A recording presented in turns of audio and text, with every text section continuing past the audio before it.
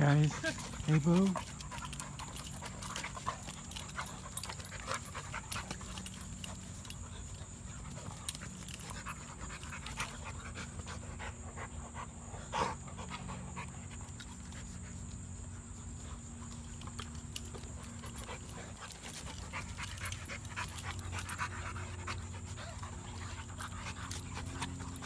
That was a big smile.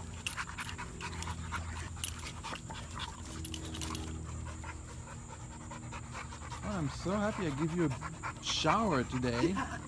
Damn, look at that.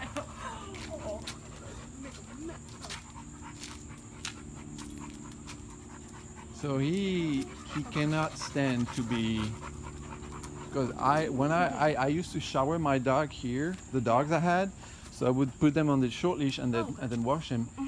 He does not like that at all. Okay. Not at all. So I take him to the bathtub Yeah. and he's doing well then. I mean, he's a Oh. bit like, uh, what's going on? But Yeah. Oh, that's good to know.